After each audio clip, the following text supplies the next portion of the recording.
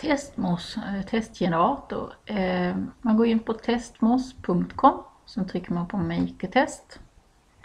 Då blir, ska man ha ett namn först, eh, matte prov, tal till exempel, choose a password. Skriv det igen. Fortsätt. Det här adressen är adressen till provet. Den får man inte glömma bort. Då kommer man inte komma åt det igen.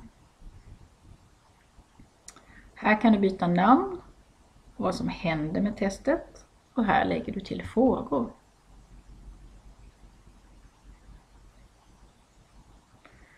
Eh, fråga 1. Vad betyder 2 3?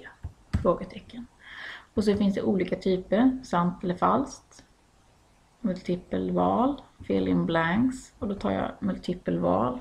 5, 6, 8.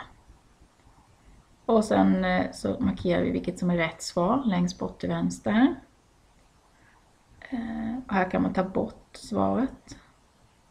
Om, om det är många elever som gör det samtidigt så kan man shuffle answers, alltså då kommer de lite oberoende. Save and add a new question. Och så kommer det en fråga och så trycker vi på save. Ja, ja, cancel får vi ta på den. Så, då gör man så här att man mejlar den här adressen uppe till eleverna. Den som var från början, att vi går in och kollar på den. Publish kan vi också ta.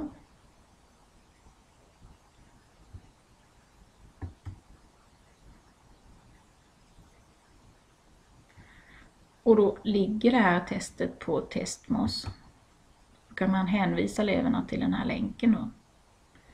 Och då när eleverna får den här länken så ska de först skriva sitt namn och då skriver jag Eva. Och så står det Fortsätt. Och då får jag frågorna och sen så trycker jag då Submit. Och då får jag reda på i slutet på provet, aha den här var fel då. Det man ska veta är att när eleverna loggar in här med sitt namn, att här kan man följa eleverna. Man kan se hur många rätt eller fel de har. Genom att logga in med, till det här provet, vad det hette, med det här lösenordet som man uppgav i början. Då. Det kan ju vara alltid ha samma lösenord, annars blir det väldigt många lösenord att hålla reda på.